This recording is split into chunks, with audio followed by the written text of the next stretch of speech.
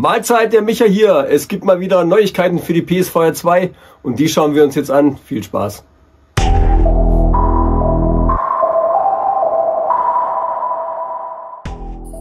Gefangen in einer unendlichen Gasse sucht ihr nach der Straße 10, um euren Weg nach draußen zu finden. Ihr befindet euch auf Straße 10, einem geheimnisvollen Abschnitt der städtischen Straßen von Tokio. Eure Mission beobachtet jedes Detail um euch herum. Wenn etwas Ungewöhnliches eure Aufmerksamkeit erregt, seid aufmerksam und ändert euren Weg. Euer Ziel? Einen Ausgang auf Straße 10 finden. The Street 10 ist ein Walking Simulator, der vor dem Hintergrund der Straßenlandschaft von Tokio spielt, wo das Alltägliche mit dem Ungewöhnlichen verschmilzt. Das Erkennen von Besonderheiten ist der Schlüssel, um den schwer erreichbaren Ausgang zu finden. In Ranglisten könnt ihr verfolgen, wer sich geschickt durch die Komplexität der Tokioter Straßen navigiert hat. Spielzeit etwa 10 bis 90 Minuten, das ist nicht so viel. Das Spiel ist im US Play Store als angekündigt verzeichnet und wird wohl auch bald bei uns auf die Wunschliste setzbar sein.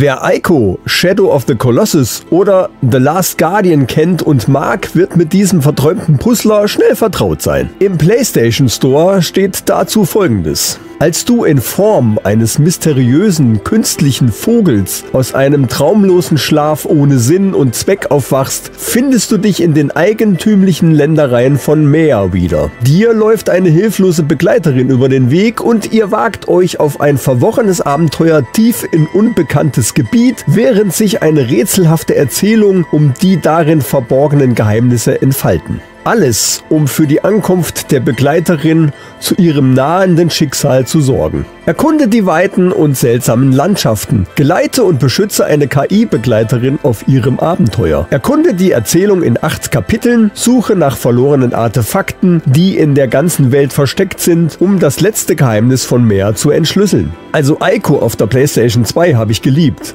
Und auch Shadow of the Colossus und The Last Guardian sind ja wohl hervorragende Abenteuerpuzzler. Ich mache dazu in den nächsten Tagen mal ein Let's Play.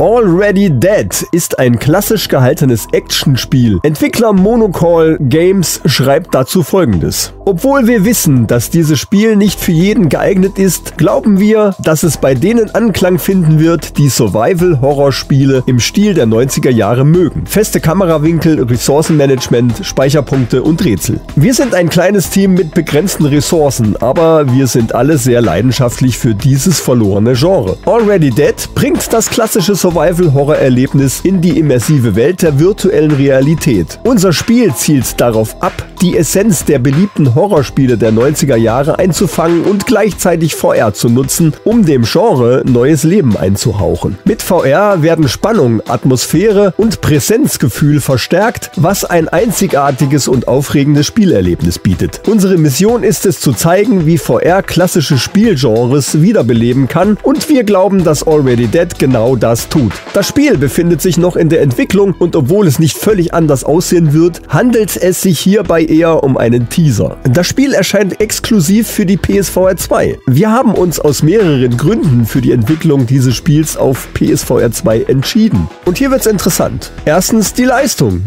Ein VR-Headset, das von einer PS5 betrieben wird, ist ein Segen für Spiele, die mit dynamischen Licht und Schatten spielen. Eine sehr schwierige Aufgabe in mobilen VR. Dadurch können wir die CPU und GPU optimal nutzen und unsere Umgebungen nach unseren Wünschen gestalten, ohne Abstriche machen zu müssen. Zweitens das Display. Die VR 2 verfügt dank ihres OLED-Displays über das tiefste Schwarz. Für Horrorspiele mit vielen dunklen Szenen und Kontrasten zwischen Licht und Dunkelheit ist dies für die Immersion sehr wichtig. Drittens Haptik- und Triggereffekte. Die verschiedenen Haptik- und Triggereffekte können die Immersion erheblich verbessern, wenn sie entsprechend eingesetzt werden. Wir glauben, dass diese Effekte in Spielen oft unterrepräsentiert sind oder eher als nachträgliche Gedanken behandelt werden.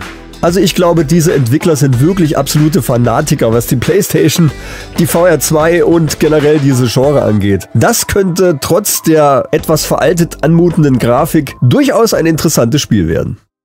Tja, das wären erstmal alle Neuigkeiten, die ich habe. Wenn euch das gefallen hat, lasst mir gerne ein Abo und ein Like da. Ansonsten sehen wir uns auch gerne in VR. Macht's gut.